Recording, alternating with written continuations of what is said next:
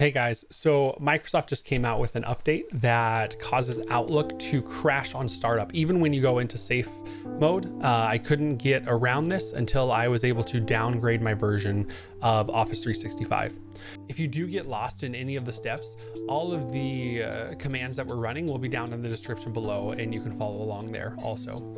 Before I get started, I do want to remind you guys, I do stream on Twitch every Thursday and Sunday night. So if this tip was helpful, I'd appreciate if you drop in, let me know, say hi. Um, but you can find that link in the description below or just right here on the screen. Um, but let's go ahead and dive in.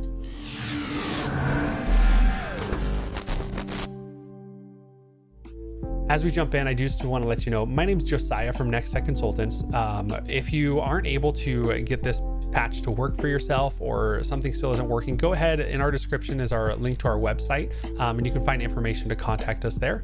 Um, but let's hop over to my computer and I'll walk you through the steps. All right, so first things first, we do want to open up our command prompt. So uh, we're gonna open that up and we wanna change back to our install direct or install drive, uh, which in my case it's C and for most of you it will be.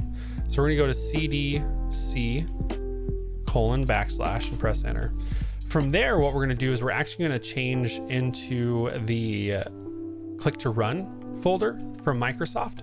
So we're gonna go CD and we're gonna paste that in. Uh, like I said, all of these commands are in the description below. So if you can't read it, don't worry, it will be there uh, and then press enter.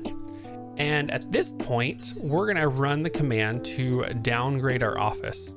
The version on here is the version that I have tested with the client, so it should be working.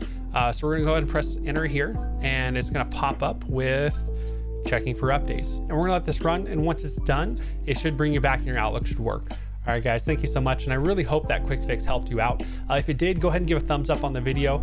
Uh, I'd appreciate it. And go ahead and subscribe to the channel if you do want to hear more quick tips or other tech issues that we kind of troubleshoot with you. Um, and I, I look forward to seeing you around. Thanks. Bye.